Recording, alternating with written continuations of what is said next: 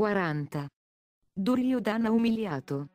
Dopo aver offerto sommi rispetti ai rishi, i re presero commiato e tornarono ai loro regni. E man mano, che partivano i Pandava a loro volta onorarono tutti secondo i rispettivi meriti. Nei giorni, che seguirono anche Krishna partì per Dvaraka.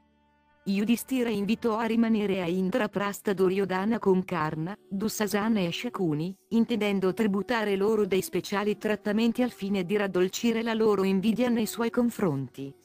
I Kurava, affascinati dalla magnificenza del fantastico Saba, che Mayadanava aveva costruito, accettarono di visitarlo con più calma. E giunse anche il giorno della partenza di Vyasa. Yudhishthira, disse il saggio, state attenti a come trattate Duryodhana. Non mancategli di rispetto in nessun modo.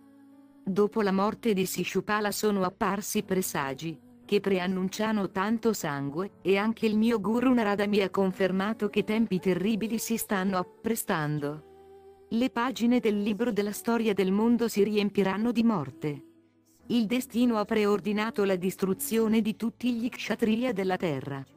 La malvagità di Duryodhana e la forza di Bhima, il valore di Aryuna e la bellezza di Draupadi saranno la causa di una sterminata carneficina.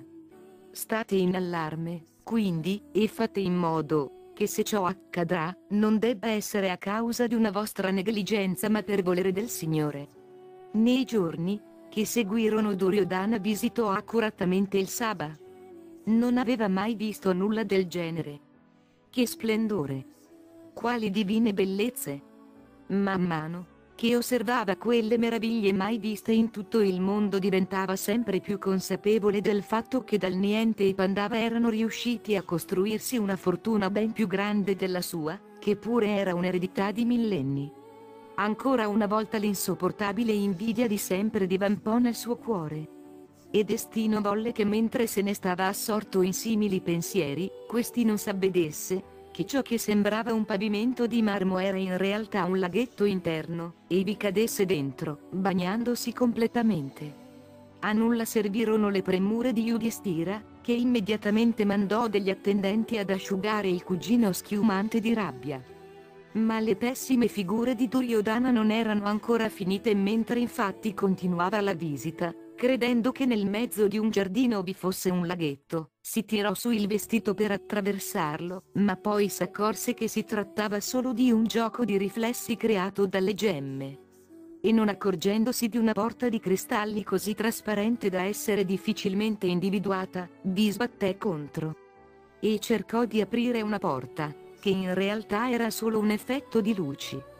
Invano Yudhishthira aveva proibito a Bhima e Draupadi di commettere qualsiasi mancanza di rispetto nei confronti del cugino perché essendo stati testimoni di queste sue disavventure si avevano riso di lui davanti a tutti. L'umiliazione di Duryodhana era stata cocente, così si era ritirato nella sua abitazione senza voler più vedere altro. Durante la notte Duryodhana non era riuscito a dormire, torturato dal pensiero della grande fortuna dei cugini. Oramai pensava a una sola cosa a come distruggerli, a come fare per vederli in disgrazia, e sofferenti nella maniera più intensa possibile. Oramai l'odio era diventato così forte da non poter più essere controllato.